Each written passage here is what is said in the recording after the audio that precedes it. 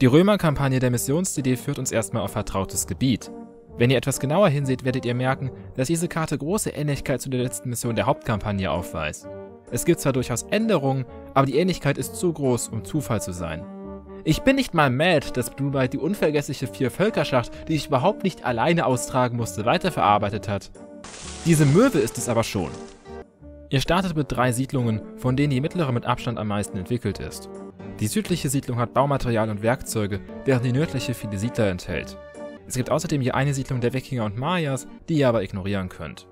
Euer Ziel ist die Zerstörung von zwei Kolonien des dunklen Volkes, welches trotz unseres Sieges in der Hauptkampagne noch nicht gänzlich vernichtet wurde.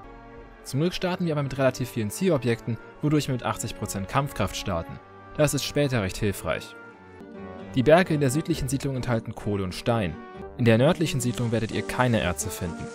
Die nördlichen Berge der mittleren Siedlung enthalten Kohle, Eisen und Stein. Im Süden findet ihr Kohle und etwas Gold. Hinzu kommt ein Haufen Steine zwischen den beiden verbündeten Siedlungen, aber an die kommen wir nicht wirklich ran. Zunächst macht ihr euch daran, die südliche Siedlung mit der mittleren zu verbinden. Währenddessen baut ihr in der mittleren Siedlung schon mal eure Holzwirtschaft aus und baut eine Steinmine, der der Aufbau sonst später ins Stocken kommen wird.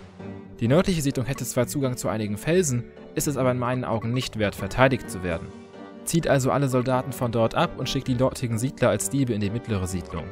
Das Skript sieht auf normal nach 30 bis 40 Minuten den ersten feindlichen Angriff vor, auf leicht habt ihr 20 Minuten mehr Zeit. Außerdem wird auf leicht nur eine der beiden Kolonien angreifen. Generell wollt ihr versuchen, an dieser engen Landbrücke zu verteidigen. Wenn ihr auf der Landbrücke selbst einen großen Turm in Auftrag gebt, ihn aber nicht zu Ende baut, schränkt ihr die Bewegungen der feindlichen Truppen gut ein. Das dunkle Volk wird euch nicht in Ruhe lassen, bis es besiegt wurde, aber wenn ihr es richtig macht, könnt ihr eure eigenen Verluste minimieren. Am einfachsten ist es, wenn ihr Priester und eine Mana-Produktion aufbaut.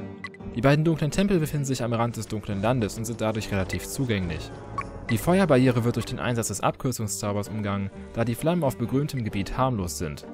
Das südliche dunkle Volk war zumindest in meinem Durchgang deutlich schwächer, aber mit der Zerstörung seines Tempels wird es passiv, wodurch sich die Angriffsfrequenz des dunklen Volkes halbiert.